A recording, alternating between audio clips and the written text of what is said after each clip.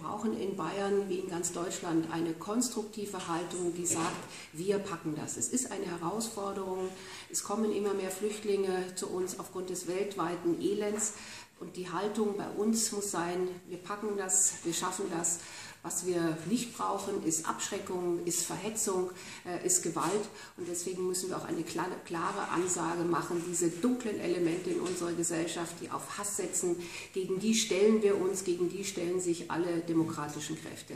Was wir in Bayern brauchen, ist ein verbessertes Management bei der Aufnahme und Betreuung der Flüchtlinge.